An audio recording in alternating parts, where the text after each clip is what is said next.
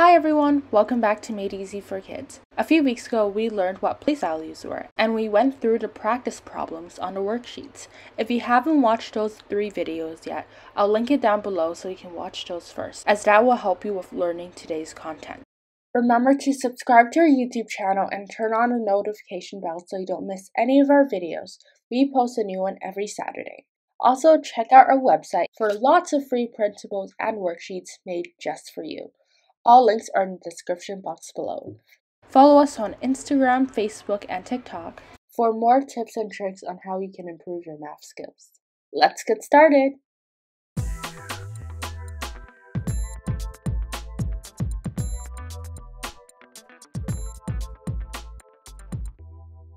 Here's the place values chart. And on the right side, we have the ones place, and then the tens place, hundreds place, thousands place, ten thousands, hundred thousands, and finally millions. Here we have the number 63, and the number 3 is on the ones place, the number 6 is on the tens place. Let's try to put this in the place values chart. Number 3 is on ones place. So we can write 3 on the ones section. And then number 6 is the tens place. So we can just write it right under 10 in the chart. The word form of the numbers always start from saying the left hand side first. So we would start with saying 6 and because it is in the tens place we would call it 60 and there's three ones, so we would call it 63. Here we have a four digit number and it has 4705.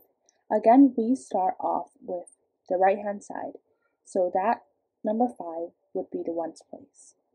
Then the 0 would be on the tens place. And then beside the 0 on the left hand side, we have number 7. That would be on the hundreds place, and then finally, number 4 would be on the thousands place. After writing the number in the place values chart, you can write it in the word form. So we start off on the left hand side with the number 4, and it is in the thousands place, so we can write 4,000. And then afterwards, we can move on to the right hand side, which is number 7, and it is 700. So we write 4,700.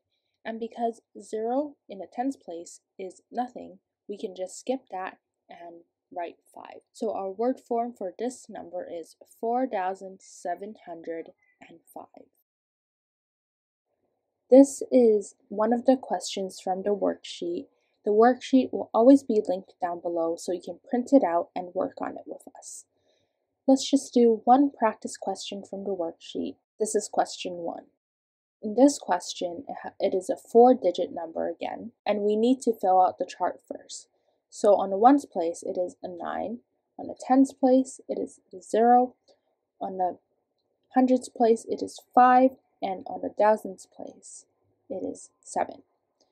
So again, we start off on the left hand side and move our way to the right. Our first number on the left hand side is 7,000, so we can write 7,000 and then it's 500, so we write 7,509.